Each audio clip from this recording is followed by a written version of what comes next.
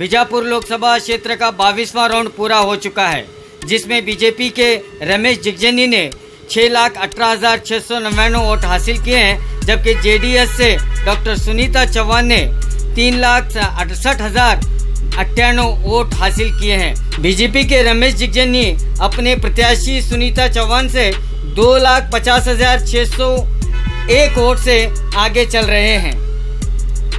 अंतिम राउंड का रिज़ल्ट आना अभी बाकी है।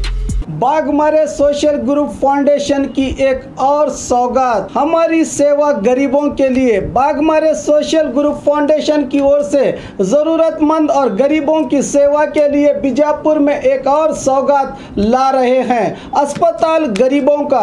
फाउंडेशन के सदर शकील बागमारे के नेतृत्व में शुरू हो रही इस अस्पताल में, जहाँ आजकल महँगा इलाज से गरीब परेशान और कर्ज में मुब्तला हो रहे हैं। इसी को देखते हुए ज़रूरतमंदों का सहारा और हमदर्दी की मिसाल बनने के लिए आप भी अगर इस नेक काम में मदद करना चाहते हैं तो नीचे दिए हुए अकाउंट नंबर पर या इस पेटीएम नंबर पर भी आपसे जो हो सके सवाब के नेक नीयत से चाहे हो, थोड़ा ही सही इन गरीबों के लिए बड़ी मदद होगी। न जाने हमारा इस काम में लगाया हुआ रुपया किसी की ज़िंदगी में खुशियाँ लाकर हमारी दुनिया और आखिरत दोनों संवार दे।